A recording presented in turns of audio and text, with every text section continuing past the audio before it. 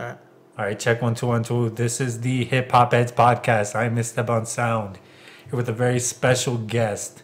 Now, I've probably known this guy longer than he's known me.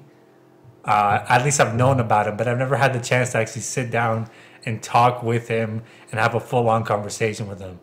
So I just want to bring you guys. This is probably the most in tune with his emotions MC out of the city of Calgary, and I want to bring you guys to him, or I want to bring you guys uh, this podcast. This is James Colt. Hey, what's up, bro? What's good? What's good? We're just chilling. That's good. Yeah. So, I mean, you said before you were getting here that uh, you're you're packing to go to LA, right? Yeah, yeah. I leave tomorrow. Okay, nice. Yeah.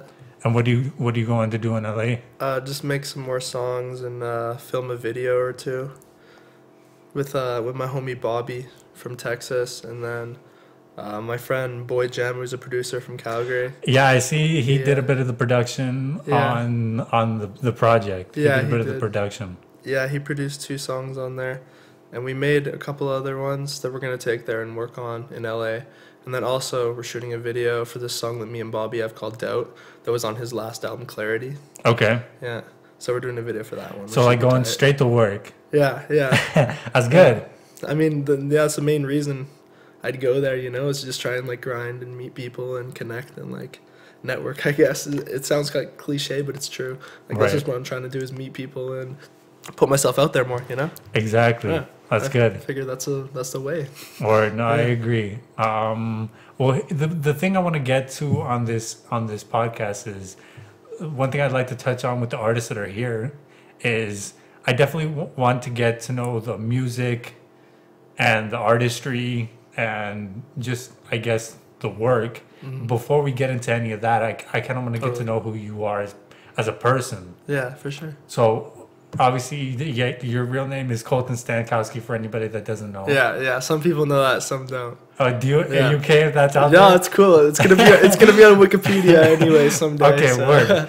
That's good. That's Yeah. all right. That's true. That's good Yeah. foresight. Um, and so I want to kind of get to know who Colton Stankowski is to you yeah, first before we get into who James Colton totally. Because they're like they're not the same person. You know. Okay, Colton Stankowski is definitely a lot different from James Colt. Like explain. James Colt is like more of like just like one side of me almost. Like it's like when I make music and stuff like that, and I'm a and I make art. It's like a darker side of me. It's like part of me that I like have to release into the world. I guess like my like uh, like darkest emotions or like darkest thoughts or like whatever is going on in my life. Because I'm the type of person who like bottles it up. Like Colton, you know, is not good at like expressing emotions all the time. Okay. So that's when I like I make the music and I I put it through there and express it. But at the same time, it's not the exact same. You know, it's like just a side of me, I guess. So it's like an me. outlet for you to express your emotions. Yeah, yeah, exactly.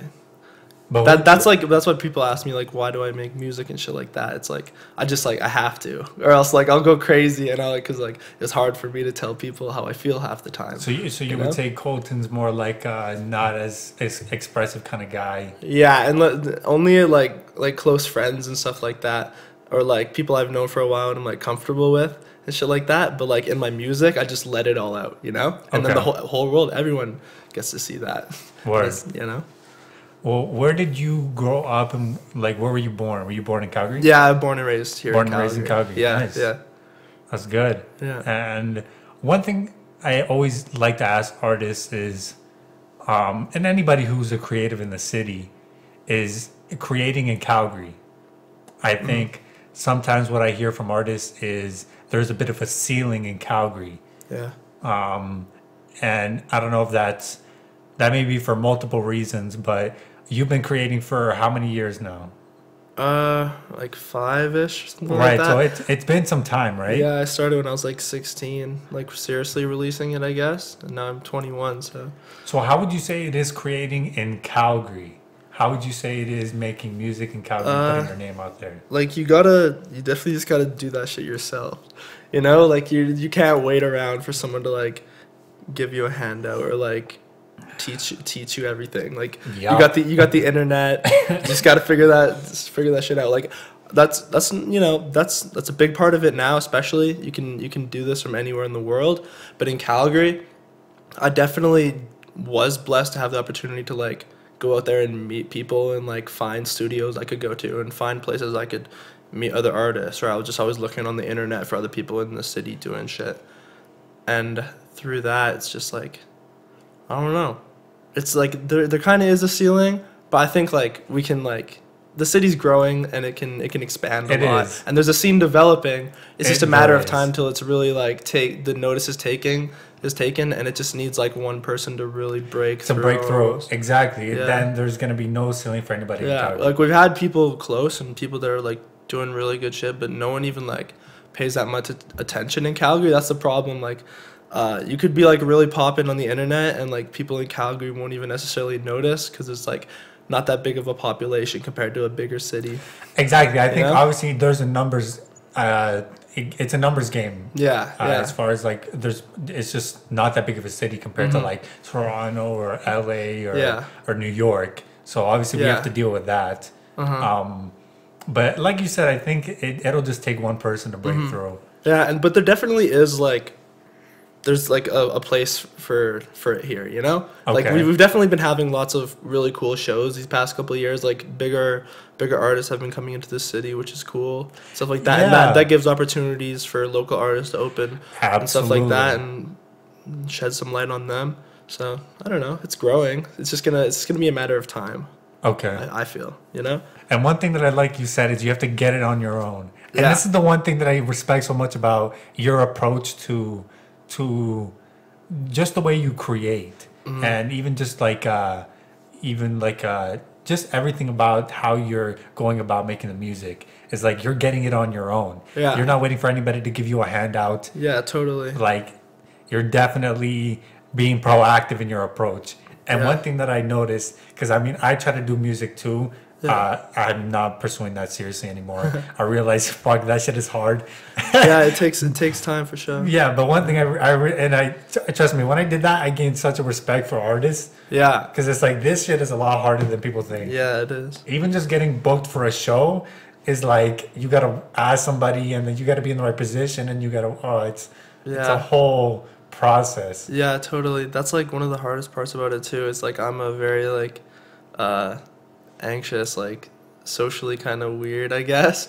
Uh so like going out to clubs and like trying to like be like, "What's up, man? Like check out my music, blah blah." blah. Going to like promoters, be like, "You put me like that's not really me." Right. So it's just like I just figured eventually I'll just do what I'm doing and eventually people will like catch on and I guess they are, so that's good. Yes, Yeah. definitely. Um, so, one thing I wanted to ask you is do you consider yourself hip hop? Now, the reason I Yeah. ask this, you say yes. Yeah. You say yes. Okay, that's dope. yeah, that's definitely a, a big part of me. I'm like a a, a, a, bl- a blend of a bunch of genres, you know? Right. And I feel like there's nothing wrong with that. Like so many artists are doing that now, and it's awesome. And it's like it pushes the sound forward and stuff like that. But I, I definitely would still say like a lot of my music is like mainly hip hop. Okay. Yeah. Like Word. I'm not I'm not I'm not always like straight up like rapping bars and shit like that, you know? Right. But like it has like has the tempo and the, the shit I'm talking about and what I'm Yeah, I don't know. Yeah, totally. So, how would you describe your style of music? It's yeah, it's like alternative mixed with with hip hop pretty much, you know? Like I don't know if, if alternative's the right word. I guess that's kind of like a big it's kind of a big uh you know term for it. Like it's also like inspired by a lot of like emo music and um just rock music growing up i listened to and shit like that a bit. And i just try and like blend all of it together. Like the new my new song lonely sounds like pop punk mixed with like trap and shit like that you know? So it's like kind of all over the place and it's always changing but now it has like a lot of live instrumentation and guitar and stuff like that. That's because that's dope. like in my background. Like i grew up playing guitar and going along with that shit like when i when i first learned the music that's what i was doing you know i took guitar lessons and stuff like that growing up so i think now that i like when i really got into rap i was like yo i gotta take what i liked from my childhood and what i like now and put it together and because that's me you know that's who i am Right. so I don't know. People call it emo rap or sad boy rap or like anything like that. I don't know. It's kind of hard to put an exact like uh, like genre. On. I don't yeah I don't know. It's, I don't even know what genre my stuff is, but like it's like a lot of things, which is kind of wild. But And what do you Yeah. feel about like the titles that people put onto it? it doesn't really matter, you know. Whatever whatever works for people, you know. As long as they enjoy the music, that's all that matters to me. Word. You know, as long as they like listen to that song, like yo, I like that song, and as long as it like makes them feel something, or it's stuck in their head or something like that. Right. That's all. That's all I really want. Word. Um, you said that you you grew up playing the guitar. Yeah, yeah. I don't do it a lot anymore. You know, I I'm, I'm not like the best guitar player in the world. Okay. Like I can play like simple chords and stuff like that now. But like I was when I was younger, I could definitely went a lot harder harder on the guitar. But I want to like brush up on it and maybe learn to play more of my songs on guitar and do that live eventually. That's one of my goals, I think, for my career is later on be able to play my songs live and shit like that. Yeah. Which I'm not there yet, but maybe when I get the time to really work on my guitar skills more, I will. But I really like when I got to like my teenage years and I really got into rapping, I kind of like forgot about it for a while and kind of put it to the side. Same with basketball, you know, because I was playing ball. For a yeah, long you were time. playing ball and you were good. Yeah, I think you yeah. were on the you were actually Yeah, I played. Uh, I played at Bob for a year. Yeah, you know? exactly, like, but like as soon as team. as soon as I really got into rap, I was like gone with that. So I really got into rap, and then, then I kind of just like focused on using my voice as my instrument instead of like a guitar. But then now I guess it all kind of came full circle. So that's dope. It did because now Yeah. you're definitely blending both of the genres. Yeah, exactly. So it's not like one thing is exclusive to the Yeah, other. that's why I think like an artist like Post Malone is so big right now because he has like he has like rap songs, he has like pop songs, he has like even like country or like indie or whatever you want to call it. Like his his stuff is all over the place, and he can hit so many different like demographics demographics of people. You know, it can reach so many people because there's so many different sounds, and that's that's kind of what I'm on to. I, I guess. You know? Okay. Yeah. So who would you say is some of your biggest musical influences when you first started out and even up to today? Who would be some of your biggest musical influences? Uh, when I first got into rapping, you know, I was listening to like like classics. When I, I was listening to like Biggie and shit like that, and Big L and uh, MF Doom and Nas and and Pac too. You know, like because I had to. I wanted to like really study up on all my history as I really I just got so obsessed with rap. I had to go back, you know, and just discover everything and listen. So that's what I did, and then, um, but like those were like early, but the the artists that really shaped what I got into now is more like Kanye West and Kid Cudi, and even Drake and yeah, I don't know. It's kind of it's, it's kind of a bit of everything, but those guys were really important to me. Mac Miller for sure, R.I.P. You know, Mac Miller. Like I used to rap along to Nikes on my feet, and like that was how I'd try and like learn to rap, bro. Yo, that and like and Miller. Biggie uh, hypnotized and shit like that. Like when I first started, I'd like try and rap along on my headphones. You know, like I'm trying to hit every single word, and it was just like artists like that. That's wild that you would say that because I would not I would not expect that out of you. Yeah. Just listening to your music nowadays. Maybe yeah, it's it's completely different. It's nothing like Oh, that, right. but that's like what I came from. Really? You know, when I when I first really got into music, and then it just kind of evolved and kept changing over time. Cause like I think Cudi was very important because he was very melodic and he was emotional Right. and he talked about depression Absolutely. and suicide and drugs and lots of the same uh, concepts and themes that I have. So like Cudi is probably one of my favorite artists ever, and he really like uh, paved the way for artists like me, I guess. You know? okay.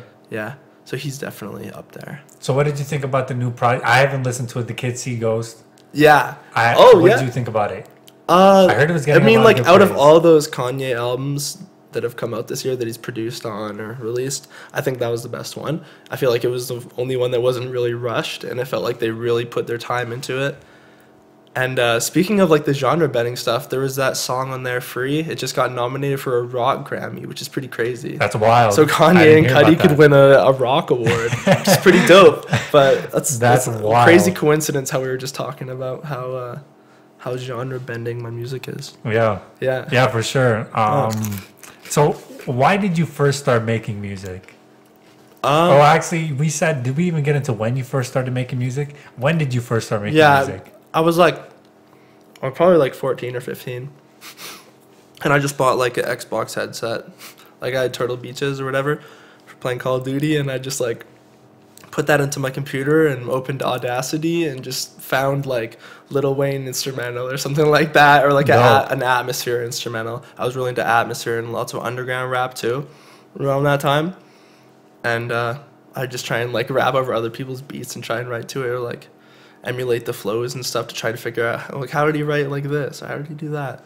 So that was kind of how I got into it. And then eventually I like bought I went with my friend and we bought like a hundred dollar mic in like grade ten or something like that. And ever since then, I just never really looked back. You know, I had lots of different like stage names. I went through a lot of different changes and like trying to figure out my identity and what I really like fit with. But So what was your first like, rap name? Six years that. Oh, I don't even know. I know that the one that most people would know was like Essence, and then I was Stankowski. For a while. Stankowski. I remember You know? Stank, I, I started listening around the, the era of Stankowski. Yeah, I shouldn't have said it. You you didn't said Essence because that's really bad. That was like really cringy. But Stankowski was like, when I started doing that, I feel like that was when it was cool. I was like, yo, people are like enjoying this stuff, like people from my school or people like online or like thinking this is kind of dope. So that kind of like pushed me forward to keep doing it. Yeah, and I want to give a shout out to my brother Juan Huh. at June Jamins. I don't know if he wants his information. Yeah, shout out out. Juan. but he's been putting me onto your music Yeah. for the longest time. like he's been a fan of your music for a minute. He was the one even like he would tell me like even when I was in grade ten or whatever, or grade eleven, he'd be Yeah. like, "Yo, Colton just released a new, uh, new." Or sorry, Colton just released a new a new track. You gotta Yeah. check this out. You gotta check this out. Yeah, So he was always on to like your that's music. true. Yeah, that's So, respect. Yeah, like shouts That's out. That's so sick. But I had like I had like I really did try back with the Stankowski shit too. Like I thought I thought that was really like that was an important time for me too because I was really just like trying everything and just experimenting and trying to figure out who I was. You know, like I was doing remixes and stuff like that even for a while, and I, that was like that was when I actually like I feel like I first got like online recognition sorta was when I did like some remixes and stuff like that like that and they some of those started like popping off a little bit and I was like Yeah, whoa you people were getting actually, views. I was like people are actually paying attention maybe I got I just got to keep going Right. and you know And I think you were one of the, the first artists to really get those kind of views yeah. on like your remixes. yeah. I in Calgary not many people would know that or like pay attention to that stuff. Like no one has really like it's been I'm under the radar still I feel like you know? But it is what it is. Word. you know? It's okay to be underrated or like some shit like that i don't really it doesn't it doesn't bother me even though like i could get like like that video i was like 16 it had like over a 100000 views you know That's Like, that's wild. crazy. Yo, people would the kill whole- for those kind of numbers. yeah you know what I mean. you know and then the video's down i haven't seen it in ages and looking back it was really cringy but like it just got me where i am today i just Absolutely, it's a start. you got to make mistakes and like learn from it and just and just keep pushing forward use that as motivation and fuel you know like even with your stuff if you're like if you don't feel like maybe oh this video could have been better or i, I could have done this it's like oh you just do it next time you just keep pushing eventually right. Instead Yeah. of trying to do dwell on it or anything like yeah, that, that was you the just way- gotta keep it moving. yeah that was the way i looked at it i just I just kept my head forward i was like i didn't want to do anything else with my life you know like uh, I, I knew like from like early at that stage this is what i wanted to do so That's dope. yeah Um, now one thing I wanted to say is, and I'm gonna be completely honest, your version of of hip hop music Mm-hmm. isn't necessarily what I would listen to on a regular basis. yeah So it was definitely a, a challenge for me at 1st to listen to the project Mm-hmm. Yeah. Loneson that's out now. You can get it on SoundCloud, Spotify, wherever. yeah everywhere everywhere, Right. Okay. pretty much Um, I noticed it wasn't on Tidal. I used Tidal. really It wasn't on Tidal. Oh I- what I can't find you on Tidal. that's crazy oh shit i thought i was on Tidal man Yeah, I, I would hope. I would love to have you on Tidal because that's what I Yeah. use. dang that's but crazy but anyway, it's pretty much on anywhere that you can. yeah pretty much everything Okay, like dope. apple music But yeah, your music isn't necessarily something I'd listen to like on a daily basis. Mm. Um, I'd listen to what people would categorize as like lyrical rap, Yeah, or lyrical yeah. hip hop. Yeah, exactly. I think lots of people would say that like lyrical conscious rap is like hip hop, and what I do is like is like pop or like hip hop or something like that. But I, I think at the end of the day now it's like it's all hip hop. hip hop. has like spread in so many different ways that it's like crazy, Right. At this point, but it's yeah. And I, I- I see what you're saying. And I'd be ignorant to like try and, and say your music isn't hip hop because Yeah, I just I sound know what you mean. I'm not man. necessarily like really lyrical or anything like that, you know. Right. And, and I know that, you know. So, so what would you say to somebody who listens to that kind of music yeah. to try and get them to maybe open up to your Yeah. your music. They could they could still uh, get something from it. You know, it's not like super wordy. I'm not gonna be having like super crazy flows, but I'll like say something that'll like you'll relate to or like understand. Like, oh, something like that happened to me in my life. You know, so at the end of the day, like relatability is a pretty big thing. That that's what I've gathered from people telling me what they've how they've kind of like felt from my music, and they're like, well, it was just when you said that line or something like this, it just connected with me, or it was like this part of the song was, you know, there's just like certain lyrics, I guess, that stand out to people or something. But I, I tell people that it's just like, just keep an open mind and listen for like the sound and the feeling and the emotion and not necessarily the rap skills, you know? Okay. Yeah. So you're listening to it for different, Yeah. something different out of it. You're not Yeah, it's it more for like the feeling and the mood and like, and the tone of the song and not like, uh, yeah. I agree, and I, I it's kind of hard to explain, but you no, get I mean. I, I don't think it's hard to explain at all. I think Yeah. like um, what you're saying is exactly true, Mm-hmm. um, and definitely. Um, I don't know if I want to say it now, but you know what? Fuck it, I'll say it now. So when I first listened to the project, Yeah. um, and I was, I remember I was, uh, I was doing because I work part time at Skip the Dishes, Yeah. so like I listen to my music when I'm doing a shift or whatever. Yeah. Um, and I remember I, I put on the project and I was just like, like, obviously you have to kind of understand I was in work mode. Yeah. So I'm like, I'm trying to get pumped. I'm, Yeah. I'm in work mode, right? so I put on the project Yeah. and I was just like, huh. Like I immediately felt very anxious. Yeah. That was my first immediate emotion. Yeah. And, and I, for a while, I was just like, why do I feel this way? Yeah. And it was so strong to the point that I had to call my brother Yeah. and be like, yo, why do I feel this way when I'm listening to the music? Yeah. You know what I mean? Yeah. So it was like such a strong emotion that I'd never felt before. Yeah. Like from That's what I mean though. Like it just makes you like feel something, you know? Like it makes you feel some type of way regardless whether it's like good or bad, you know? But here's the thing like, at first, I didn't like the way it made me feel. yeah. So I was like, okay, maybe I got to give it another, another listen. So I gave it another listen. And I was like, okay, I, I can pick out my favorite songs here and there. I like these songs. I don't mm-hmm. like these songs. And kind of just like started picking out my favorite songs. Yeah. And then it wasn't until this morning today, which is what I was telling you. I woke up late this morning and I was feeling like shit. And I was just like, fuck. And immediately the first song that was in my head was Vacant. Yeah. We wake up in the morning feeling vacant. And I was like, God damn it. Like, this is exactly what this music is for. Yeah. And I and I was listening to it because I had to go buy some shit at the store, and it was there was clouds over the sky, and it just wasn't a Yeah. good day. Yeah. And I was listening to the music and I was like, this is what this is for. Mm-hmm. When I'm having a shitty day, when I'm not feeling good, Yeah. this is exactly when the music connects with me. Totally. So that's when I, and I, it took me a minute.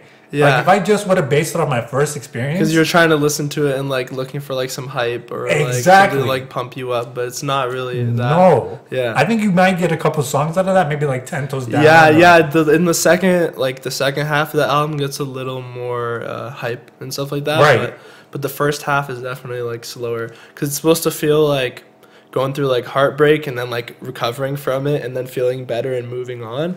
So it's Oh, like okay, so it's like the so it's like the first. Uh, like the first half kind of is probably a bit more dark and stuff like that and it's like sadder almost and then it gets like better like when it gets to like um, after like Black Rover, around Vacant and Black Rover, that's when it like kind of switches. You'll notice. Word. Yeah. Yeah, I definitely, now that you're telling me that, now I definitely That's know probably, and it's also like what you were saying um, about how it was like you know it was really dark out and you're or like gray and that kind of like Yeah. related to that. I think my music is a good representation of like being a product of Calgary because it's, lots of times it can be very gloomy, it can be very gray. and very It's very like- snowy for a long time and it's very isolating Yes. and you can feel very like stuck and trapped in calgary and stuff like that Absolutely. so i think that's why um you know my music is kind of a product of that which i think is cool Word. and lots of people in calgary will like that so that's that's another thing to look forward to if you're someone who's going to check it out. Definitely think about that if you're from Calgary. Perfect. Well, yeah. you know what that leads into. I want to play a track. Yeah, for sure. Off the project. I got it up on SoundCloud right now. I'm gonna edit it so we can actually play the full track. Okay. On the episode, but what track would you want to start off with? I'll let you pick. Off the project. Um, We're on SoundCloud right now. The first track. What, what would you say? What would you want to play? Mm. Are you looking for a shorter one? Like Black Rover is pretty good. Black Rover. You want to play that yeah, yeah. Let's go. I'm doing a video for this one. I think so. Okay. Yeah. Well, I don't want to give that away yet, but like, uh, yeah, Black do that one, I guess. Yeah. Okay. Let's play it.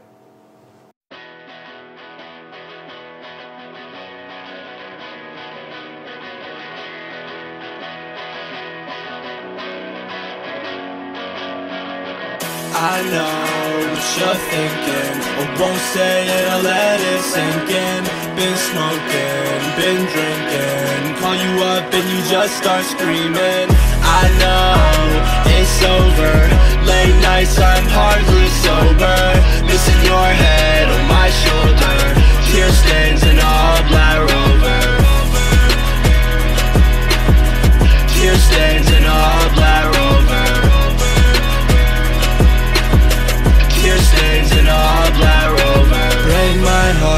throw it in the trash. Take my love, I don't need it back. Shame on me, no shame on you. Blame on me, no blame on you.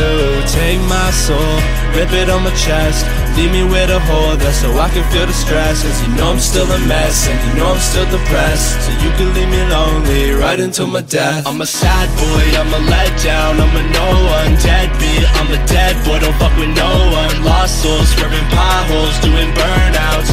Teacher said I won't be shit, look how I turned out. Teacher said I won't be shit, look how I turned out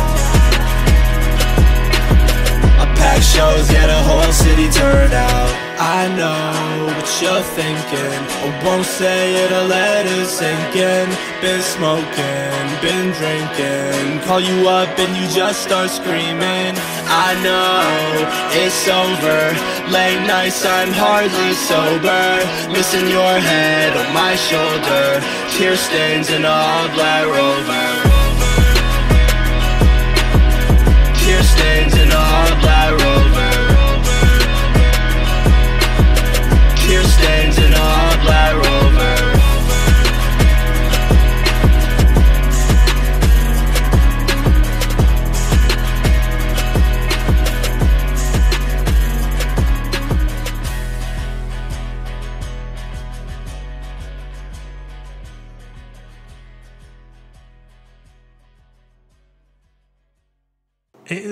One thing about that track, I think, is kind of like uh, it's a little polarizing because it's like the instrumental sounds upbeat and you sound like you're actually overcoming a lot, but then you say tear stains in the all black rover. Yeah.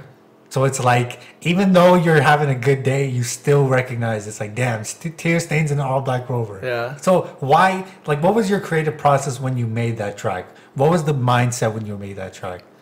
Um, I don't know. It was, I would just as soon as the beat came on, I just like the melodies just start kind of coming to my head, and I was just like thinking about like fights I had and stuff like that, or just like I don't know. I've had a lot of like uh, ang- like anxiety attacks and like stuff like that while like driving. Really? It was like uh, yeah, which is kind of strange.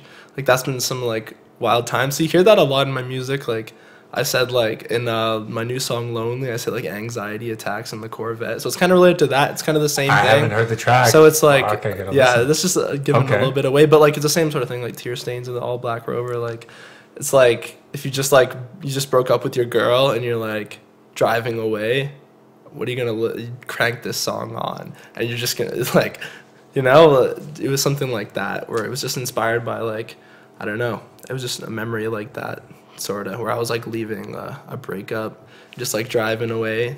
Like fuck, what just happened? Okay, you I know, can my see life that. is a Yeah. mess. and then I just like crank, crank the song like tear stains and all black rover. You know, it's okay. like it's Right. like it's like I'm depressed. It's like depressed flex. Like I'm sad, but I'm sad, Exactly, but I'm, I'm what I sad, but. I'm lit. You know? Exactly. That's Yeah. what I'm saying. It's like it's like yeah, that was really shitty, but I don't care. I'm like still gonna like be all right at the end of the day.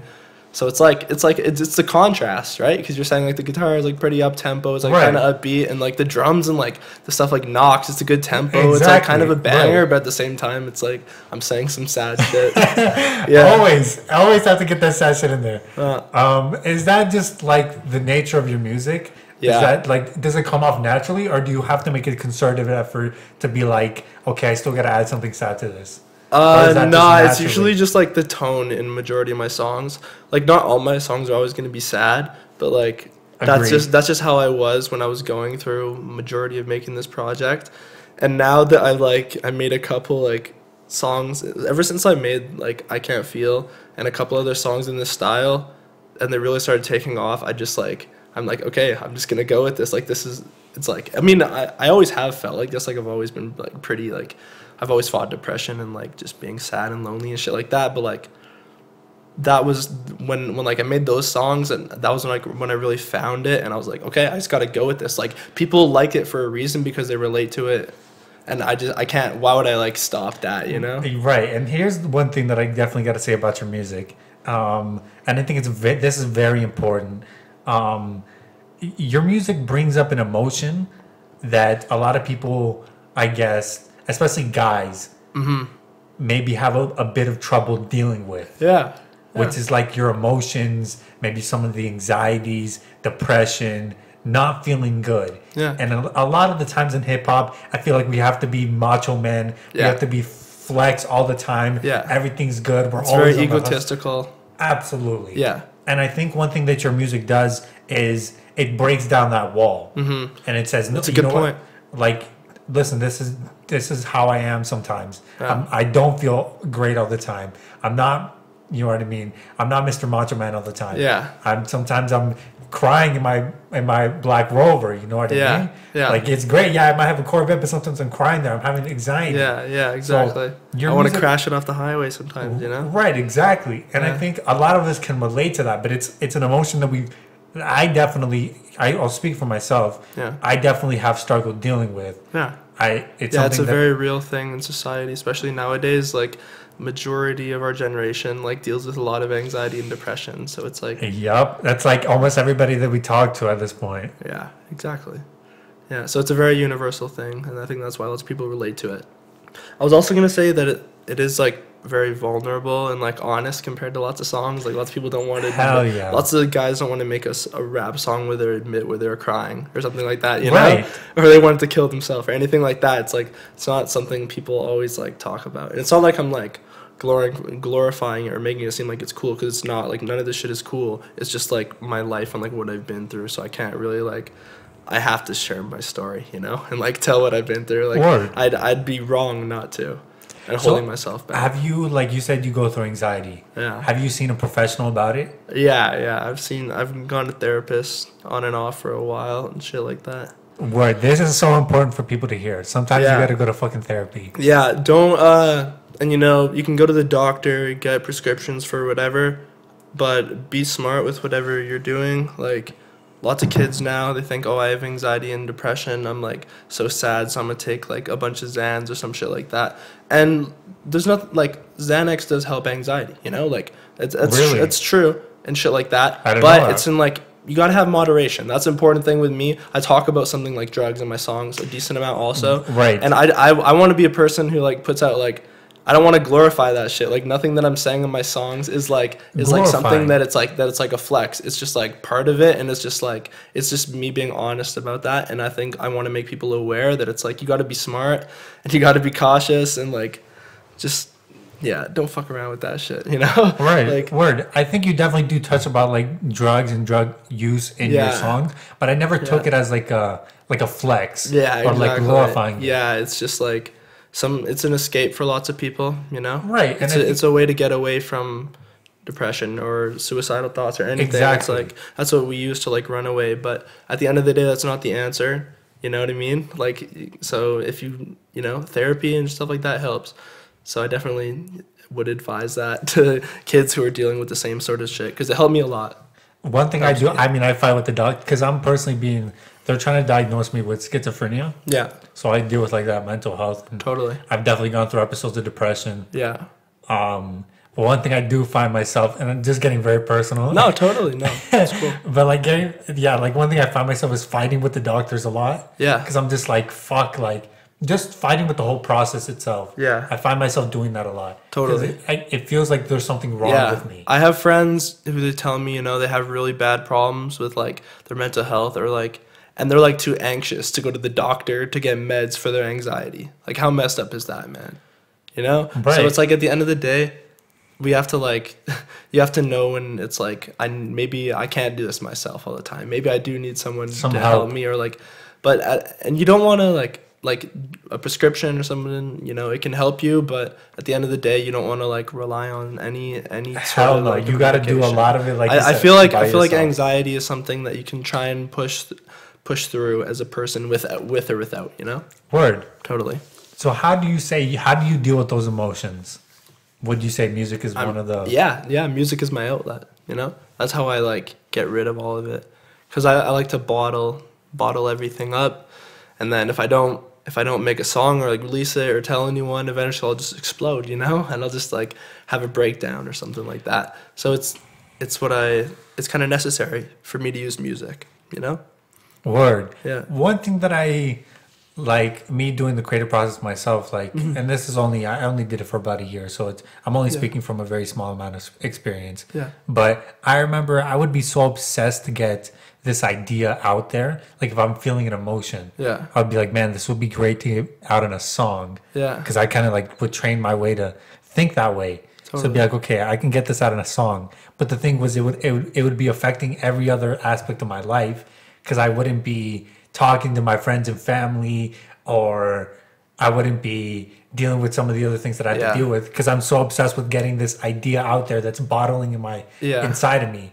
It's like no, I got to get this out in a song. There's no other way I can do it. Yeah. Do you find yourself sometimes in that kind of um in that kind of position where where it's like you're trying to get out in a song, but sometimes it's affecting other aspects of your life? Yeah.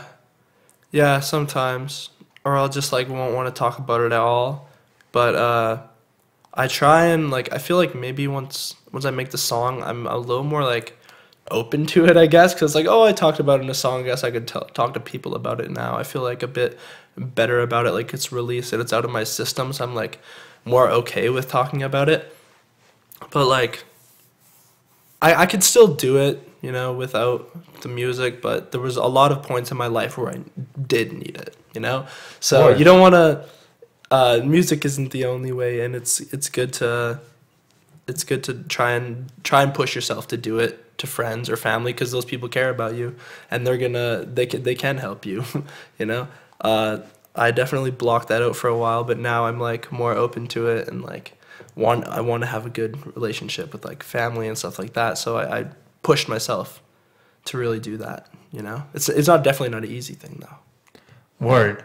W- one thing I wanted to ask is like you talk about a lot of sad topics. uh-huh And if if I was listening to this from an outside perspective, I'd be like, "Damn, this guy's really going through some shit." Mm-hmm. So, how little do you want people to take your music?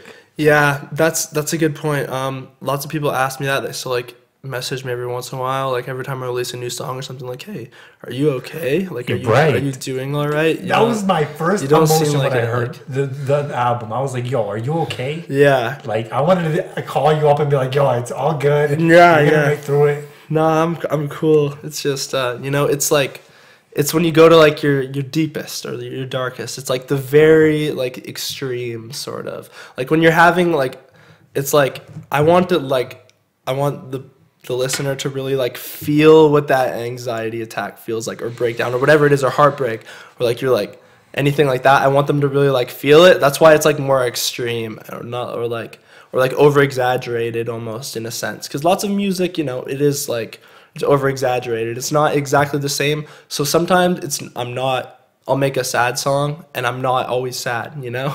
I i'll just i'll just do it and i just just because that's what i like to do and I, I love writing songs like that and i'm so used to it now. It's like it's like my groove and i really fuck with that but like it's it's yeah lots of the songs are focused like i'll go back to certain periods in my life when i try and channel it. Like if i'm happy like today and i want to make like a sad song i'll think i'll like put myself back in that position i was back then. You know i'll be like oh i just got to think about this time when i had like a really bad fight here or I had a really bad night here Right. and i like take myself back to there to to like channel it So uh, yeah, that I guess the question is, I'm all right. Everything is cool. I'm just like I'm just like channeling a part a part of myself, like from my memories back in my head. Okay, word. Sorta, you I know? think that's big for people to hear. Yeah. Because sometimes, like, like let's say somebody might take your music so literal that it's like, yo, Mm-hmm. I gotta be sad all the time No. to make this kind of music. Yeah. It's I mean, you know, not every day is all right. I'm still down. I still deal with it every day just like everyone else does, but I try and be like um, people wouldn't expect uh, how like positive and optimistic I am in person Right. from my music. It's like a bit different and I think like interviews and shit like that help. So That's- this is this is a good way for people to know. Yes. And uh yeah, totally. word. Definitely want to put that out there. Yeah. Okay, word. That's that's dope that you touch on that. Mm-hmm. Um, so one thing I wanted to ask is like after years of doing music, um, what's your approach as far as like the business side of it in marketing? Mm-hmm. So I, because I noticed you're very good at that. Yeah. You're very good at kind of like putting out your music and and I've seen you do ads for your music and Yeah. So you're very and I, I it's not like you're ignorant to that side of the Yeah. the coin, right? Yeah, I'm So- very uh I try and think of myself like also like an entrepreneur and shit like that, you Right. know? Like I I want to eventually be, make like more of a movement and like a label collective type thing, which we've been working on for a while. So I I really like the idea of like building building a brand or building a company or building an artist and like developing it and like making something out of nothing. And uh, wait, what was the original question? The question is, what's your approach to, to yeah, I guess that kind so, of stuff? Yeah, it's, it's just like to, I don't know, just like studying side the internet too really got me into it. Like finding like oh how did I how did I find like I don't know I guess how did I find like weird like subgenres on the internet like how I found like I guess quote unquote emo rap or whatever just like delving through the internet like two years ago whatever I found like Lil Peep and Nothing Nowhere and a couple other artists and I really got into that and I guess all of it's just for, me being an internet weirdo kind of just like scrolling through the internet and trying to find out everything and like how how I can like push my music and how I can better it. But like marketing wise, I just try and like I don't know. I just like do like Facebook ads and shit like that or I try and do lots of visuals. I think videos are very important. Um yeah, I don't know. So what would Lots you say like to that. like an up and coming artist that's because they might see somebody like you and be like, "Yo, you're getting streams. Yeah. like you're you're doing numbers. I've seen you on the Spotify numbers. You're doing like six Yeah. thousand, sixty thousand monthly. Yeah. like that's that's impressive. Yeah. So somebody might look at you and be like, "Okay, how did this guy do that?" So I, I don't know if you want to give away Mm. Yeah. all the sec- secrets. Yeah, um, lots of it, you know, is just the what I what I tell people is at the end of the day, good music is good music, and it's gonna reach the right people. Um, lots of the Spotify stuff wasn't in my control. My song "I Can't Feel" really blew up because it got added to a big playlist, the the Teardrop Lil Peep uh, Okay. dedicated playlist, and um, I couldn't submit for that. I didn't send it in or ask to be part of it. They just selected me. So that was just it's just you know it's uh, good music finds its way into the right hands eventually. Word. But I have pushed myself a lot. You know, I find like channels to pre- or like blogs to premiere my shit. You know, like a video or, or a new single or something. So I try and do stuff like that too. But all over the board, I uh, lots of it is just from hard work and uh, consistency and quality. You know, just make like a lot of good songs and release them at a good rate and don't slow down and put out good visuals and shit like that. I uh, I tried to make like a video like every uh, release a song and a video like every month or two and shit like that. So I've been doing that for over a year now. And I noticed on this project you have a lot of videos that came out with the songs. Yeah. You have Yeah. like four. Yeah, at on, least me- yeah, something like that. Let me check. We did a couple before the release, a couple after. You got one for some days. Yeah. You got one for vacant. You got Yeah. one for ten toes down, and then continue Yeah, and then there's a, couple other ones on Sad Chill on his channel. on who? Uh, on Sad Chill, it's like a YouTube S channel. Oh, sad chill. Yeah. We've got a couple more videos on there. Shout out to Sad Chill. Damn. He's a very nice fellow, Mr. Valentine. Um, he's hosted a couple of my videos. And that lots of here's a tip for artists like Lonely. if you're if you're trying to figure out um, you know places to get your music to, find your lane, find your demographic, your sound, and find like blogs or channels that post your similar type of music because that's what I did and it's very important in this day and age. It's also not that challenging to find. You just got to really Burden. dig. You just got to dig through the internet. Yeah, Burden just hit 30k. It's my biggest video now, which is pretty dope. Really? Yeah, we filmed that video in about two hours. I edited in like one. That's wild. Yeah, not unplanned. Just went out and did it. That's Yeah. wild. And I see your music videos are actually very well done. Yeah, I do majority of the editing myself. Really? Uh, on most of them, like Burden, I did, and one some days, Ten Toes Down. But uh, a couple of them I didn't do, like Continue and Minute. I had other videographers, which is cool. I want to work with more videographers in the city and shit like that. Word. But I definitely had experience Putting doing it myself. Into the, into the universe. He Yeah. is looking for a videographer. so if you, if you know, if you need, if you need some I'm work, always, I'm, not, I'm always open to to work with people. You just gotta hit me up, you know. Word. But uh, yeah, I think visuals are important, and I really liked the fact that I did lots of them myself, and it was very like DIY and independent, out the mud. and I could make the video and release it the next day, and, and not have to wait on anyone. Another uh, important thing I think is like not relying on a bunch of people. like some people be like, "Oh, I want to release this song, but I'm waiting for the producer to send it back, and it's been fucking two weeks," you know? Right. But it's like, if you just do that shit yourself, then it's all right. I mean, I don't mix or master all my stuff, you know, but like, Who mixes I- and master your stuff? it's kind of all over the board. Depends who produces the song usually. Okay. But I don't do that myself. But I do do lots of the visual stuff. Hmm. Yeah. Interesting. Yeah. That's good. One thing that well, I was gonna ask. Oh, right. Your music definitely has changed over the years. Yeah. Um, like even if you go to and one, that's more like a it's like a playful fun track. Mm-hmm. Yeah. That's that's actually a pretty fun song. Yeah. Right. And so when, when did you get into like the more emotional side of yourself?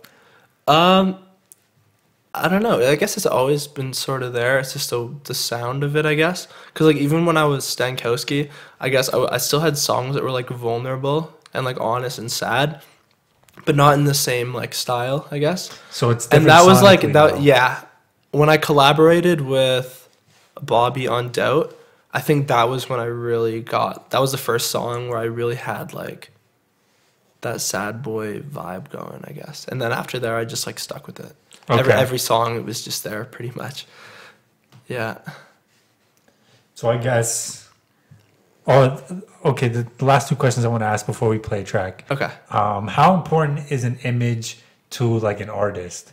Like how important is image to you? Yeah, it's And- pretty. It's pretty important. Um, it's it's not it's not everything. You know, you can you don't have to have the craziest image in the world to be successful. I don't think if your music is is good enough. But at the same time, I feel like nowadays music is so oversaturated that it's important to like have a cool image or just like be yourself or like be creative or unique with the way you dress or or the way you do your hair or anything. You know, it's just like just I, it's just be yourself and that's the best way to be unique i think and just do what you've always wanted to do like and just like that's that's the way i guess is to just really just not care but like lots of people are just doing like image stuff just to do it for like attention now which is kind of messed Right. up you know like they're taking it overboard and i don't think that's necessary i think just like do whatever you think looks cool or do whatever you want but like i'm not really with lots of the stuff where people are just like famous for their image and then they're also musicians. You know, I don't really like that shit. You like music first, and Yeah. then the image can kind of help. yeah, it's it's like a part of it. It's like a part of it and it helps and it, it's like it does. it's definitely a factor, but I don't I'd never want that to be the reason I'm famous for. I'm not gonna like diss any like rappers that have blown up or whatever, but I know a lot like there's a couple that have like pretty much like made it and solidified themselves more off their image and their looks and their actual songs. Okay. Which I don't. That's not what I want. You know, personally, that's not my aim or anything. But image is 100 percent very important in 2018. It's like a big factor. I think it's always been a big factor. Yeah, Like even if we go back to some of like the like rock bands and Yeah, shit. You absolutely. like crazy hair, right like outfits. and people would- people try to bash how people dress nowadays. Yeah. but it's like yo, people have been dressing crazy for like the longest Forever. time. Yeah, and it's nothing new. It's just like change. it's just like changing and evolving, right? Right. Yeah. It's not like it's not like rappers just started doing this stuff. or like or like like face tattoos have been around for a long time. It's not like it's a brand new thing. Like people have had their whole bodies tatted since like as long as tattoos were Been around exactly. Yeah. Right. Yeah. That's good. Uh, one thing I wanted to ask is like gaining feedback Mm-hmm. and getting feedback from like your audience or whoever it may be. How important is that in your creative process? And um, how much how much of that do you take into account when you create, or do you have to block out the voices when you're going into Mm. the into the booth? It's a little bit of both, really depending on the song. Um, I like to really get feedback from people, and like I just send like usually after I get a draft of a song or finish it, I'll like play it for the homies or play it for my brother or something like that, and just be like, "Yo, what do you think of this one?" But lots of the time, people don't give you like real feedback. They'll just be like, "Oh, this is sick, good job," because they're your friend. Exactly. you know? And uh that's whatever. I like i'm kind of used to that because lots of people do that. But at the same time i like it when people are like more harsh on me and give me actual criticism. Um, lots of artists can't handle it. I think if you can't handle constructive criticism and like real criticism you shouldn't be an artist. Like it's not Thank made it's not made for you. Thank if, you. if you get defensive or say you're wrong um, it's very important you know you're not going to get better. If you can't take criticism or realize what's wrong. What what i think why i'm sort of succeeding is because i learned from my mistakes and i learned from other people's mistakes. And i'm like oh they're doing this and it's working. They're doing this and it's not working. And i kind of just like study that and just like i'm like a very observant person. So i think that's where i kind of get all that from Word. yeah hopefully i think that answered the question Yes, it definitely does, and Yeah. something that I try because I, me personally, I do album reviews Mm-hmm. and concert reviews or whatever it may be. Yeah. and a, a part of that is getting feedback Yeah. to the artist. Yeah. right. And I think it's. I'm glad that you, someone like you can Mm-hmm. understand. Like that's. It's just us trying to give you some feedback. Yeah, I have uh you know that stuff has really helped me. Um, some of the best constructive criticism and feedback I've got was from like other artists, like uh, Transit Twenty Two, who's like mentored me for a very long time. Shouts out. Um, He's been recording my shit since I was like sixteen and helping me and like getting me gig Word. opportunities and putting on for me and like teaching me like everything he knows. For He's a very been doing long that for a lot of artists. Um, lots of people in the city will like throw shade at him or not give him the credit he deserves. But um, if you ask me, he's like one of the uh, first people from Calgary to really like make noise online and in the touring world, in the actual like hip hop community and underground from from Calgary, like internationally and shit like that. So I looked up to him to him a lot, you know, and that was like how I first got like in a studio and shit in Calgary to record was from being a fan of him and going to his show and hearing like, oh, I work at this studio, and then I went there. Fucking five years later, now he's like one of my best friends. yeah, and I think he me, has a you know? studio over at the Boys and Girls Club. Yeah, yeah, Right. That's I, I record that. I recorded there for like a long time. Um, my homies like Nick Wise and Nick Royal worked there, um, making songs and shit. Um, like I, that's where I know uh, John and Token. John from, and yeah, because they record there. Yeah. Right. So I've met like lots of artists I've known there through the years. Back Shouts in the back in the day, Token. that spot was called like Beltline and it was at a different location, and it was very lit. There was like many like rare exclusive ciphers, freestyles, like so many old songs and shit were made there. But it's at a different location now. It's very low key, but I work there a decent amount still with Transit, and he gives me like better feedback than majority people I know. Word. Yeah, That's dope. yeah. Uh, the last thing I want to ask before we get into a track, I know I've been saying that for a minute now. Mm-hmm. The last thing, but um, what is Timeless Tomorrow, and Oh, what yeah. is your like association with them? What is Yeah. that? So Timeless Tomorrow is a collective. Um, it's run by me and my brother pretty much. Brett, he like designs all like all the clothes and stuff like that. We Shouts out to Brett. We got hoodies, hats, um, and lots of people think t- right now that Timeless Tomorrow is just a clothing line, but it's also a music collective. You That's what I we thought at got first. we got me, uh, Nick Royal, Nick Wise, Anthony Almighty, and a couple of other friends and producers and stuff that all help out and are like part of the crew. But it's like it's just like a collective and a movement, I'd say, of just artists. You know? Yeah. Would you consider it like a record label?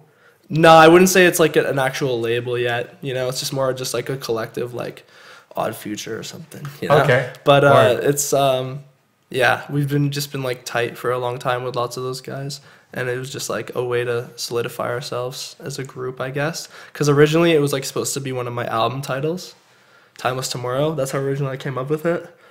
And then as soon as I told that title to Brett, he's like, "This is too cool of a name. It's too big of an idea to just be an album." So we're like it sounds like a brand or like a company. So yeah, that's how we came up with Timeless. We've got new Timeless Tomorrow merchandise and stuff that'll be available at the show on the 9th. We're gonna have some Loneson hats. Uh, they're like uh, we've got like some black hats and some white hats. They say like Loneson, Timeless Tomorrow, nine five nine seven on them. So we're making some new Timeless gear. We should have some hoodies and stuff too. Word. So, hell yeah. I just wanted to like oh give people awareness on the show. Hopefully it's out before then. I don't know. No, it, well, it no, it should be out before okay. the ninth. Hell yes. Yeah. We'll, we'll, definitely. I'll get on it. Yeah, I'll get on it. Yeah, uh, yeah. So you have a. Sh- well, I guess we'll, we'll say this. That, yeah, I guess that's the, like the last thing. Okay, before we get into anything, okay, I want to play a track though. Oh yeah. All right. What track do you want to play? Um, play. Let's play Burden. Burden. Yeah, sure. Okay, let's play Burn.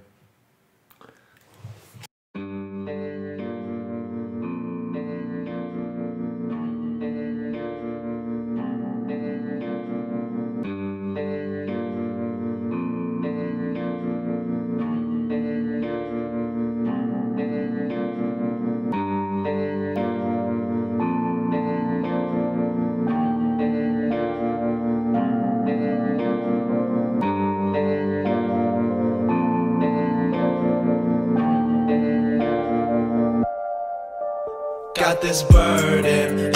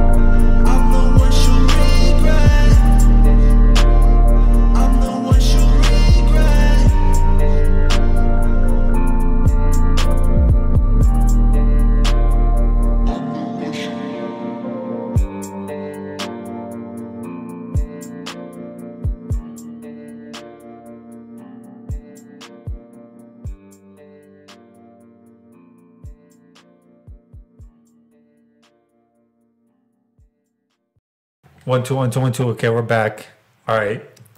So, like I was saying to you, um, I was listening to this this morning, and I was just like, "This is exactly how I feel." Yeah. Like I wasn't expecting me to relate to it that much, Yeah. but it's like once I was in that mood, I was like, "God damn!" Like this is exactly how I feel today, this morning. Facts. Like a burden that I'm carrying, like uh, that. That. How, what was your thought process when you made that track? Oh damn. Yeah, that was yeah, I don't even remember where I wrote it, but I, I remember like the recording process was really sick cuz like I was in Vancouver working on uh, Transit's new album, Dark Day Good Morning, and uh, we got some extra spu- studio time on the last day there, and I got to record this track. And I think I think I had written it maybe like a week before in Calgary. And uh I don't know what it was. I just like really get in the zone when I'm writing. You know, Right. like I just like I'll put on the beat and just like loop it a million times and just pace around my room till it's all done. like just like mumbling to myself probably for like 45 minutes or like 30 minutes. But like lots of my best songs come to me really quickly. Like like this one, Burden, I Can't Feel. And a couple others I wrote like hella fast. It just it just comes to me. You So know? what comes first? Is it like the melody, or is it like the lyrics, or Yeah, what really usually comes like first?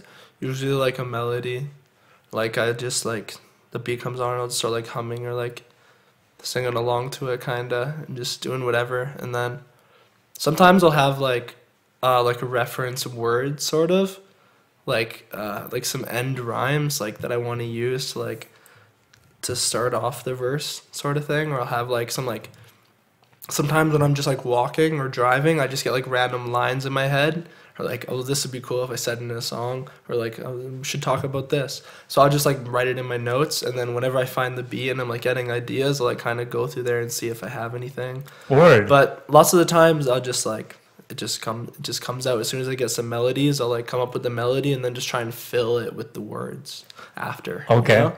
Yeah, like lots of my friends when they record, they'll just like pretty much like mumble melodies on a beat. They just like start singing like uh, and then and then after you like fill it in with the words. right. But th- that that song specifically, Burden, I knew I think I wrote like the lyrics and shit first Okay. but it was just like super catchy as soon as I heard it. And I was just talking about like a lot of shit that was going on, like yeah, I don't know. It's it's it's like kind of all in there. Just yeah, I don't know how to how to describe it really that well. It was just well, and let's say when you get into the booth, like, it's like a zone. So it's like when you're in, it's like when you're in and out. It's like hard to. You know, I just like lock in. Like in sports, Okay. you mean to say you're like, "Yo, you're in this." Yeah, he was he was in the zone. zone, Like it's like that. But yeah, when I was recording it, that was like really crazy because I did like I really tried to like push myself, like to do like higher layers and like harmonies and um, even the background vocals and stuff weren't added. Some of it wasn't added till I got back to Calgary. So I really spent like took my time on it. Like the original version I did in Vancouver wasn't the same as the version I did after. okay. Like I changed, I added some ad libs and, and shit, but yeah, that was one that just like came together pretty quickly. I'd say. Word. Yeah. I want to get into like uh, the actual the project, Yeah. Uh, specific tracks. My favorite tracks off of the off of Loneson would be Ghosts, Demons, Yeah. Some Days, I Can't Feel, Minute, Continue, Ten Toes Down, and Blue and Black. Word. So those are like my favorite tracks. That's sick. I like those ones too. And I'd say most of the tracks that were like they had like somewhat of a like a upbeat instrumental. Those were kind of the ones that I Yeah. gravitated towards the most. Yeah. Although some That of the tracks, sense. some of the tracks towards the middle though, like some days and I can't feel, uh, those tracks I I found myself liking a lot more. Yeah. Even Burden, I'll say like Burden definitely grew on me. Yeah. The more I listened to it. It's uh, it's, uh, something about the chorus. It's like really catchy. Exactly. It's like, dun, dun, dun, yeah. Burden, is turning, Yeah. Like you can just kind of like hum along to it. Yeah. Exactly. Word. Yeah. Um, and ghosts and demons, you say you need hope, Yeah. something to believe in. Yeah. So, what keeps you hopeful? Um, the things are gonna like get better, and I'm not always gonna feel like this. Like eventually someday I won't like feel like empty or vacant inside. Like like the hope that like eventually things like work themselves out more, you know? And uh that's kind of like a talking to like faith and stuff too, which Right. I battle a battle with a bit, you know. Right. That's like- that's what I was wondering. Like, yeah, because being I like raised in like a a religious household, sometimes you feel like you don't have any like hope or faith. Like sometimes you feel like it's not there. So I guess that kind of goes along with that line. do you consider yourself religious? Yeah, I would say I still I still am. You know, not the same extent I was like raised and like grew up into, but Right. like spirituality and stuff like that is still a big part of my life. Like I still definitely have faith Word. or try to. Yeah, In for sure. word.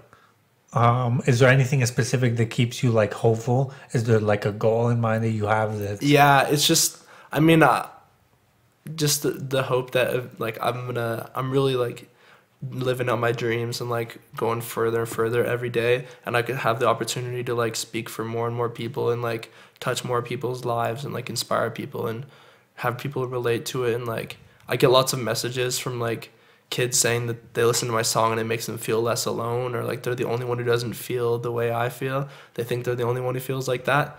So stuff like that too is like really important to me, you know? Word. Yeah. Um, and some days you say demons in my in my dreams got me waking up in hell. Oh well, oh well, I got used to how I feel. Yeah. Like, what kind of demons do you deal with? Yeah. And like, where do they stem from? Do you know? Yeah, yeah. It's um well, the okay, so like Loneson, this is going to get fa- fairly personal. but, That's like, fine. Lots of Loneson. Uh, some people actually, yeah. Anyways, Loneson is like lots of it. It comes from like a very a certain specific period of my life, where like uh, last year my dad passed away Rest in in uh, in August. Yeah, rest in peace, dad. And uh, that happened like at the end of August into September of last year, and then you know we are living. Uh, we li- I lived with him, and I was alone for a while at that house by myself, and with my girlfriend at the time and I was just like going crazy, you know. So lots of these songs are about that time, like when I was trying to like cope with that and grieve with that, and then and then we broke up. I broke up with my girlfriend. So there's another thing. I'm even more alone in this house, like by myself. And I was like, I was like, I say, uh, in vacant, I say, someone get me the fuck up out of this basement. Yeah. I was literally in my basement in my house when I wrote that after my dad had died and after my like after I broke up with my ex and shit like that. And like so it's just like that's that was like a, real time. Like I was very that was like my lowest point. That was when I thought about like driving off the highway and shit like that. All this is like from the same um, same moment in time when I was dealing with grieving with my dad's death and dealing with my first real breakup put together. That's what Loneson is a lot about is is coming to terms with all of that. So that's there's a lot of there's definitely a lot of demons from from that shit. Like i definitely was changed after that happened to me you know? And after that after those two that's when i started making the songs like i can't feel and toxic and doubt. And this is the, all the ones that have taken me to what's happened in the past six months. So it's like crazy how everything happens but Right. like but like I went through like the worst time in my life, and um, I've like turned such a negative, terrible, like hurting experience into something beautiful, and like made it making a career out of it with my music and shit. And, and that's the beauty of I want to say music in general. But Yeah. I want to say definitely hip hop. Um, it's taking those experiences that like usually would break somebody yeah, and being like, you know what, nah, this is gonna be like what's gonna propel me forward. Mm-hmm. And sometimes we can't expect that kind of shit to happen. It just comes out of nowhere. But I feel like Mm-hmm. Yeah. if you can push past that that that wall, yeah, it'll be like psh, sure. you're gone after that. You know Yeah, what I mean? yeah, Like if you can push past that, then you'll be fine. Uh huh. Because that'd be like the worst you, Just you use got to deal with. yeah, You know what I mean? It's like what's gonna be worse than like you, you losing your dad. yeah, exactly. So it's like anything from there is just gonna feel easy for you. Mm-hmm. At least And- that's the way I think. Yeah, totally. No, I agree. And when I talk about like demons and stuff, it's from lots of that, like having like uh, sleep problems and like nightmares and trauma and shit like that. Just from the overall experience of all that shit. So that was, you know, therapy was important with all that too. So that was that played a big role in me like understanding all of this.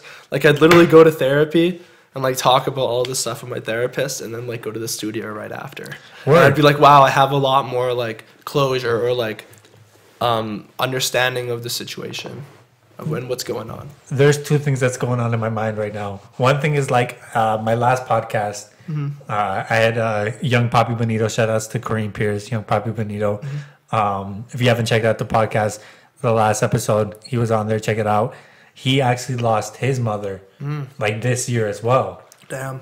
and uh, R.I.P.. yeah, and like a lot of the music was was coming out from that experience. Yeah. So that's wild that I'm talking to somebody else who also lost Yeah. one of their. It's their a very, parents. it's a very, it's a very uh, real thing that happens to a lot of kids, and it's nothing no one should ever have to go through. Like have to bury their own parent is not right. You That's know? fucked. And see that shit is, is not cool. You know. Um, I definitely uh, feel for anyone going through that shit, but it brings people together. Like I could definitely relate relate to that. And uh, I've made friends with other artists um, in the scene and shit like that, like uh, Convolt, who's featured on I Can't Feel. Okay. He actually lost his mother, and we kind of like uh, bonded and like talked a bit over that, you know. So stuff like that is like it's fucked up, but at the end of the day, it, like it makes people who they are, and it's like a part of their story, and it's a it's cool that it, like music can bring people together through that and shit. right. Yeah. Word. One thing that uh, that young Pablo Benito was telling me was like not allowing that to define himself. Yeah. What do you think about that idea?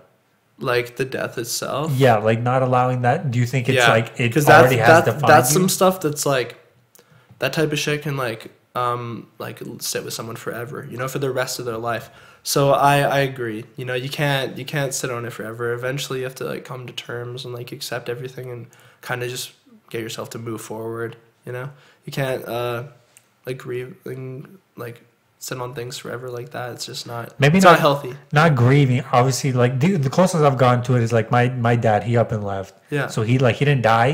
Yeah. Which is a little different. Yeah. But he's like he's not in my life. Mhm. So. Um, and maybe that's why I'm I end up interviewing people that have lost one of their parents. Yeah. I don't know. Yeah, you maybe the energy is similar, some shit like that. yeah Um, but but like it's like not allowing that to like hold you down, but definitely you can recognize that yeah as being like a a part of you. Like man, like I've gone through this. You know what I mean? And Yeah. always keeping that in perspective. yeah for sure Like maybe maybe you can be like because you're spiritual, right? Maybe you Yeah. be like maybe your dad's watching you and Yeah. he's helping you throughout all of Totally, this that's yeah. going on, right? And I feel like I'm just like doing everything he would have wanted for me. Like this is, you know, he's probably looking down happy that I'm like doing what I'm doing now. Word. Yeah. Well, in in some days you also say that I, I'm just hoping for someone to feel my pain. yeah, And the minute you say, I just hope somebody can relate. yeah. What do you hope to accomplish by sharing your pain with others? Um, I guess like what I said about like um, I don't want like people to feel like they're alone and stuff like that, and that's why I want people to relate because like that's all I like. The fact that that I can like express myself and tell my story, and then this many people relate to it is just like the coolest thing. So I don't know. It's like, I guess that I don't know. I don't know the exact reasoning why. It's just like. I guess it just makes me feel less alone. like people understand me, you know? Right. Like they get it. And do you ever have cool. people come up to you and say, like, yo, this track, like, I related to it so much? Like, Yeah, lots of like uh, Instagram DMs and shit like that. Someone would be like, "Yo, uh, there was this one kid. He was like 14 or something like that. He's like, "Yo, your line about your dad like really touched me. My mom overdosed like last year or some shit." I'm like, "Damn, this kid is 14 and he's like listening to my song and, and like thinking about this and like." It's unreal, and the, you know stuff like that just makes me feel like yo, I cannot stop. Like, I, there's no way I can go back. I have to like be there as a voice for these kids, and that's all I ever wanted. You know, was to like be a voice for the voiceless almost. Yeah. word. That's dope. I'm Yeah. glad that you recognize that kind of responsibility. Yeah. You know what I mean? Because a lot of artists. there's uh, don't. there's lots of artists who don't realize the impact that they can have and the influence they have on um, anyone who's listening to their music. So I think it's important to be aware. Word. Yeah. And I definitely, I, I agree. You definitely are that voice for people who are going through that kind of pain. Yeah. Like, Yeah, for sure. like definitely relate to that. Yeah. So yeah, definitely keep doing what you're doing. Thank you, bro. Um, continue. Yeah. That track felt good. Yeah, Felt like that's that's different. That felt like a better, like a more upbeat, Yeah. like uh, okay, a little light in the darkness. Yeah, there's gonna be um, some more of that style of stuff. You know, um, it's uh, that was one of the ones where I'm writing about moving on and and moving forward and finding finding someone new and that that's one of my favorite songs on there for sure. Yeah, It's one that's one of my favorite songs too. Like I really like that track, Yeah. and I like It's like I say, uh, everything will be fine even when I'm not with you. So just continue, just keep going. Everything's gonna be okay. It is a good. That song is a really nice message. That's why I like it a lot. And It's like that saying, like if you're going through hell, just keep going. word. Yeah. And I think there was perspective on that track, which Yeah. I which I enjoyed. Yeah, It's like you're not the only one going through the problems, hmm right? Like, Everyone's got it. everyone's got them exactly. That's why, yo, if you can get more, more tracks like that, that would be yeah, dope. that's that. That's a very universal message on that one. I like that. That's like I want to make a lot more songs with that because I feel like it's such just like a an easy thing for people to understand and enjoy, and it has such a feel good vibe to it. That one, it doesn't make you feel so sad. You could like uh, pre-drink to it or something, and like turn up with your friends, exactly. play it at a party. Yeah. Same with like ten toes down and going up and Yo, Ten Toes like Down that. is my shit. Yeah. that Ten track is Down. my shit. Yeah. Ten Toes Down is very underrated. Uh, if you haven't heard it, go listen to that because it's like the least streamed song on Loneson, which Oh, makes me Toes very Down? sad. Really? Oh wait, no, Going Up is it's Oh, second, Going it's Up. second, but go yeah, but still, Which it's one of, it's one of the Up? most slept on songs. Which one's sure. going up? It's uh right before that on the track list. How does it go? You, you gotta remind me. Uh, it up, it up all night. Going Going up, up, going going up. Lately, shit been blowing up. Oh, blowing up. yeah. yeah, and that's a very really lit song too. I made both of those one to Boy Hmm. Jam. The one, the two ones he produced are right after each other. Uh, vac. I mean not vacant. Going up and ten. and Ten Toes Down. Yeah. Right. Yeah. Word. Yeah. Maybe maybe everyone's just like they know you make sad shit that they go for you for that. Yeah. I don't know. Maybe maybe they just like the sad shit more, but ten So, toes down. so how does that because that puts you in a position, right? Yeah. Because then and I I feel like this is with any artist that makes a specific kind of music. Yeah. I think that puts you in a position where it's like people are expecting this from you now. Yeah. Yeah. So it's like, what happens when you maybe reach another point in your life Yeah. when you're not feeling like that anymore? Yeah. Or maybe you want to touch on like happy content. Let's say Yeah. you get married one day, Yeah. or let's say you buy a house for your Yeah. mother or some shit. You know what I mean? Or like, yeah, I don't want to be like I'm not gonna be like this forever, you know. exactly. I uh, well, I think I there's think- always going to be pain. I think I think yeah, exactly, and I think I think people like the story of like oh he was down and he was like not doing so good and he went through a lot, but then he made it and now look at him, he's happy and rich. So if that's what my aim is, like now I'm like sad and depressed and broke, but like someday I can be like rich and happy and like married with a mansion or some shit, hopefully, you know. So I think that's like the step after that, hopefully. Word. Then then I can make get on some like more fun like anthem songs that are like just like happier i guess. so i don't know i don't really know where the future will take me but that's where i hope i guess okay. yeah So do you feel a responsibility to make those kind of sad songs, even if you're not feeling like you kind of touched on that I, before? I like- love writing sad songs yeah i love it like the the way i get to use like the way i can use imagery and like in those songs and like um talking about the new single lonely again i know you haven't listened to it but like it is like a we can cool- play it. Yeah, we should play it at the end. Okay, right we'll play it at we the end. Um, it's uh, it's got like, it's a bit of both. Like that's what lots of the comments are saying that I've noticed. It's like it's yeah, he's like sad again, and it's still sad and chill, but it's like um more upbeat and like the guitar one is like kind of happy. It's like more of a pop punk vibe, less of like a emo, uh, darker vibe. Okay. So it's like it's a cool spin on it. I think if if we're thinking about where I'm going and like finding more of a middle ground, it's a very Right. good middle ground. Okay, let's Yeah. play the track then. That'd Yeah. be a perfect segue into playing the track. Let's play it. Yeah. Sick.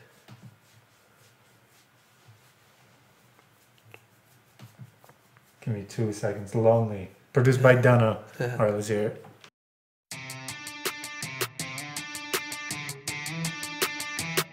I know you get lonely, lonely, yeah, yeah. I know you get lonely, I get lonely too. I can't help it, you were all that I knew.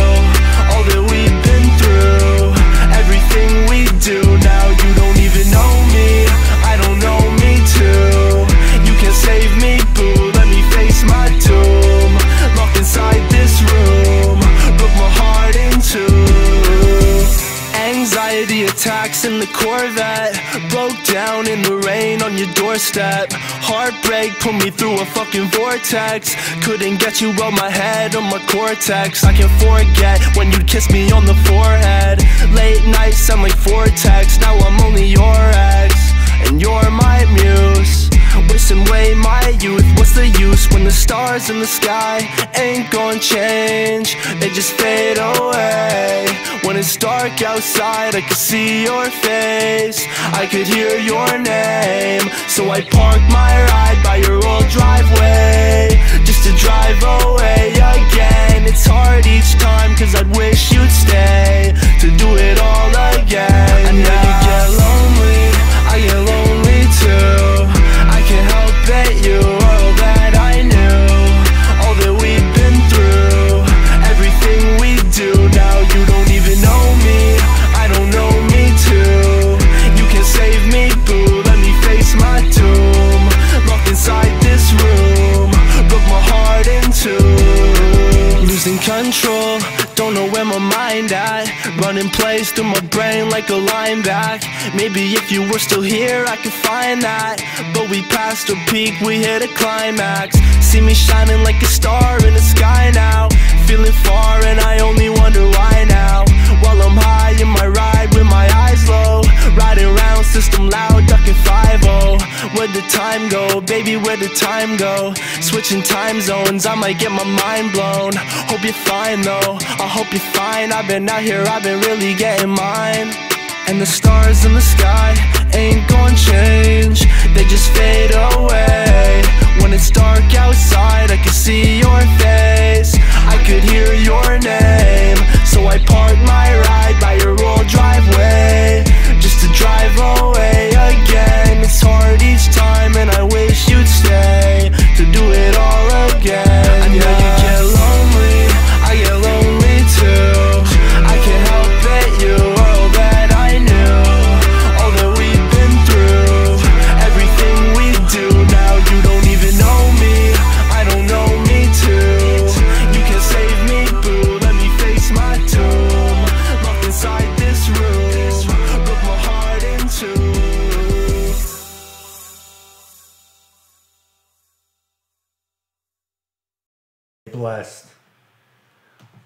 All right, check one two one two. Okay, we're back. Hold up, my brother's giving me a call. Should I pick up? It's up to you, man. Nah, I gotta, I gotta, I gotta, I gotta not pick up because I got a guest, so not to be rude. All right, I, he's gonna have to, he's gonna have to, So you have to wait. he's gonna have to wait. Sorry, one. Um, okay, I do want to switch it up. Uh, now this is gonna be very different. But you told me specifically that you used to rap over like Biggie Smalls Yeah. instrumentals. Alright. So I, I want to throw like a kick in the door, and I want to see what you got, whatever you got. All right.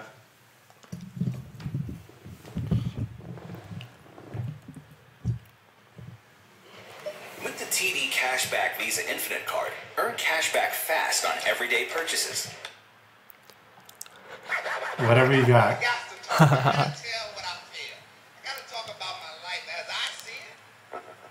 You turn up a little bit.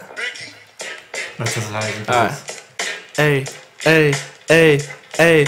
I kick in the door, uh, kick to the floor, say I want some more. I just do this every day, every night. I shut the show down all the time when I'm on the mic. Spit it in the light, get it right, pass it to the left. Uh, ballin' and uh, you know I got the tech and uh, got no refs. Uh, what did you expect? Uh, got this ice up on my neck and it's dripping and it's wet. Uh, I be ballin' like a vet. Uh, shoot your shot, take a stab. Uh, yeah, got it raining, it's so wet. Uh, yeah, I got pluses on my checks. I be running up, uh, hit 'em with the thunderstruck. Hey, hey, I be getting numb as fuck.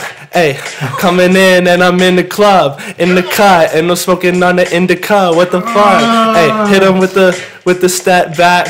Hey, I'm feeling jet lagged, heading up to LA. I'm out in Cali. I was out in Chaparral. We was in the valley. I was smoking with my homies, chilling in the alley. And I met a nice bitch, think her name was Sally. Uh, I count 'em up like a tally. Pulling up, and I'm chilling with my homies, and we spark 'em up. We got the Dutch, we got the Dutch. Hey, hey, I don't give a fuck. I just kill it. Uh, every single time, and I'm thrilling. Yeah, I do it for the thrill, ain't pop pillin'. Drop the ceiling.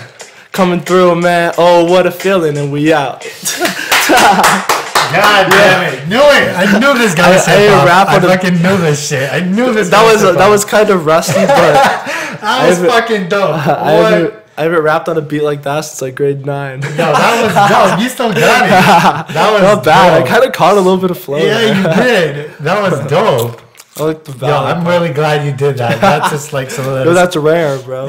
Very rare. That's dope. All right, perfect. Is there anything that you want to set good energy to? Anything you want to let the people know what you got coming up? Uh, anything yet? Anything that's coming up for you? Yeah. Um, go check out Lonely.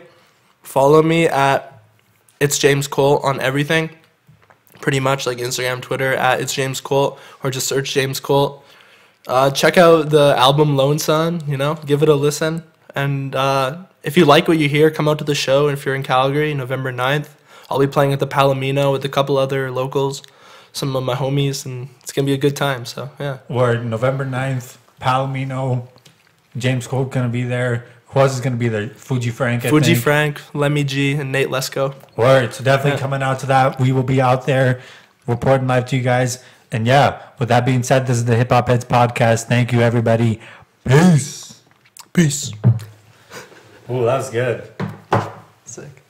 Yeah, I wasn't.